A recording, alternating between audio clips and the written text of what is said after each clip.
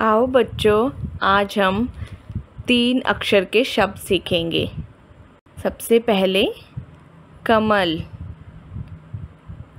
फ़सल, महल, उछल, टहल, मगर, अगर, डगर, नगर, खबर, नहर, पहर लहर, झटक, मटक, चमक, लपक, पटक, भवन, हवन, पवन, भजन, जलन, नमन, दमन, सफ़र, मटर, इधर, उधर, बटन, जतन नकल शकल अकल सफल।